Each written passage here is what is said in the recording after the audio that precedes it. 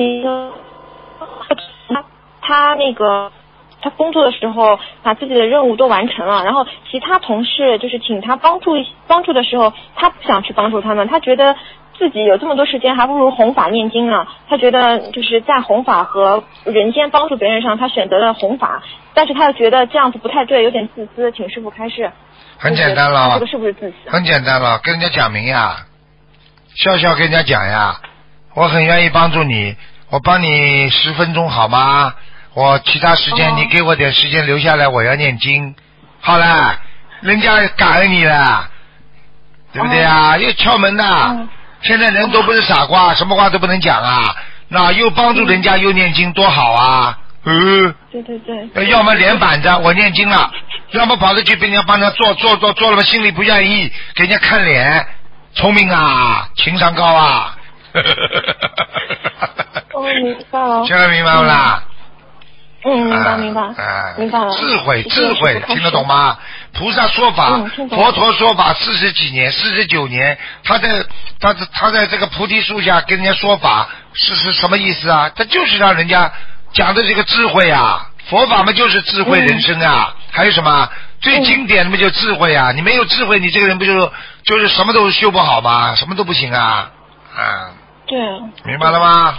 嗯嗯，明白了，谢谢师傅。师傅，请请师傅以后就是在节目中多教教我们做人的道理，因为您您最近一直在说学佛就是学做人，如果做人做不好，一定学佛学不好。啊，对呀，你看那个那个那个那个那个那个李先生，他经常打电话进来问很多问题，就是问到很多做人的问题，所以师傅为什么喜欢回答他的问题？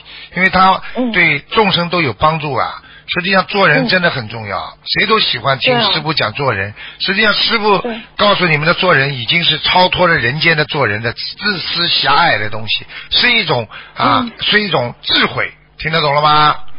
你同样一件事情，很多人做人做的不好，做了好事还给人骂，对不对呀？对啊。很多人傻傻的，好不容易省钱请人家吃顿饭，吃完了最后还要讲还要讲笑话。讲了人家都不笑，吃了都不说他好，一些人真的脑子坏掉了。请人家吃完之后，你们好久没吃过这么好的菜了啊！还能说你看，你们平时在家里也没什么事情的呀？要不是我请你们出来吃，你你们不是在家里吃青菜萝卜啊？对不对啊？你看，你看我请你们吃了，你们开心吗？人家吃了就不不开心的。嗯，对。你应该说非常感谢他们。哎呦，谢谢你们给我面子哦！你们一来我开心哦，是不是啊？你们能够让我今天这么开心，我真的是很感恩你们的，真的，我很开心。大家能够站在一起吃，就是一种福气呀，福分呐，口吐莲花呀！知道什么叫莲花吗？是这么吐出来的。看见人家剃头了，哇，这个头怎么这么漂亮啊？看见人家画眉毛了，哇，你这眉毛怎么像月亮啊？对不对啊？看见人家，哎呀，身体不好了，哎呦，消节了，消节了，过节了，过节了，怎么讲的？看见人家，看见人家一生病了，马上说，你看业障啊，你的业障。嗯。师傅，那那这个就是就是讲讲这些话，就是给别人一种欢喜感，这个是出于。呃，是一开始，比如说自己修为不够的时候，是故意我要这么讲，就让培养自己这种。开始的时候是故意，对吧？开始的时候就是。后来就自然而然了。自然而然了呀，到后来嘛就自然而然了。开始的时候总是有点。开始。要要自己要去学佛呀，哎，学佛要口吐莲花嘛，叫语言布施呀。嗯。对不对呀？看见那个女孩子长得很难看的，你就告诉她，你就告诉她，哇，现在人都可以变的，可以整容的，心最重要。啊，对不对啦？啊，嗯看见人家好看的，你就说哇，这个是你前世真的修的很好。那哪句话出来不都好的吗？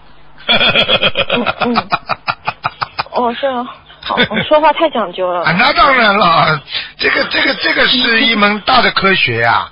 啊，同样一句话可以把人家恐怖分子束手就擒，对不对呀？所以那种谈谈判专家，这这这这东西，人家要跳楼了，你在边上。那我不是上次说过笑话吗？对不对啊？对不对？一个一个一个一个男的，一个男的要跳楼啊，就是想不开，他老婆老欺负他，看见老婆天天吓得来发抖，对不对啊？结果嗯站在阳台上要跳楼，专专家在正好跟他谈的时候，他老婆赶回来了。他老婆赶回来跟他说：“亲爱的，你不要跳啊，有话我们时间长的慢慢谈呐、这男的嘣跳下去了，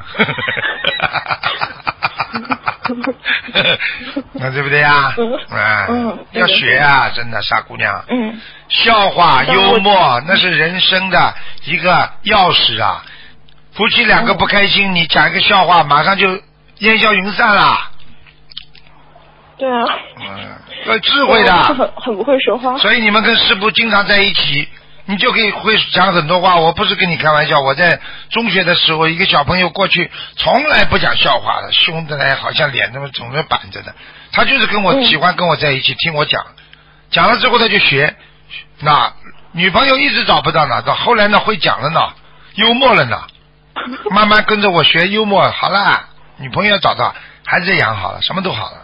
幽默啊，幽默，那是一个嗯一剂良药。幽默，那是一个人的一个本性的流露啊啊！幽默的人是嗯高智商的啊，低级的人幽默不出来的，听不懂啊？嗯，听得懂。你去看那些低级的人，他就会说那种下流话嗯，啊，对不对啊嗯？好了，对。哎，好了，嗯嗯，谢谢师傅。还要听啊？下次再，下次请早吧，没时间了，拜拜。好的好的，谢谢师傅，谢谢。